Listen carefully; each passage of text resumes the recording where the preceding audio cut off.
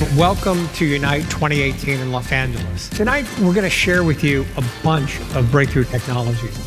We call it the FPS sample, and it's a project you can open right in the editor. It's like we're making a manual without words. Today, we're releasing the first version of the FPS sample.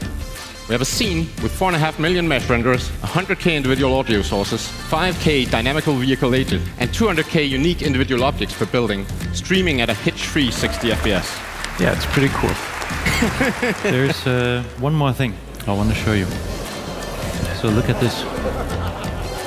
Today, we want to introduce to you the visual effect graph, which allows you to create stunning visual effects. This tech is called Cinecast. It allows you to direct game content in real time.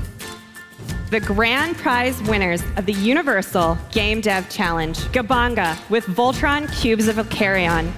We're here to share with you an innovative collaboration between Unity and Disney Television Animation called Baymax Dreams. This workflow enabled our team to iterate quickly. We're used to working in siloed off department, whereas on Baymax Dreams, we worked on everything in real time. This ability to find the story in real 3D world space could hold exciting possibilities for the future of storytelling. We're so proud to announce that we are merging or acquiring Digital Monarch Media. Our team, alongside Unity, have built a suite of virtual film tools to bridge this gap. This is virtual cinematography. Thank you so much for being here tonight and for your creativity that inspires us every day in all the work that we do.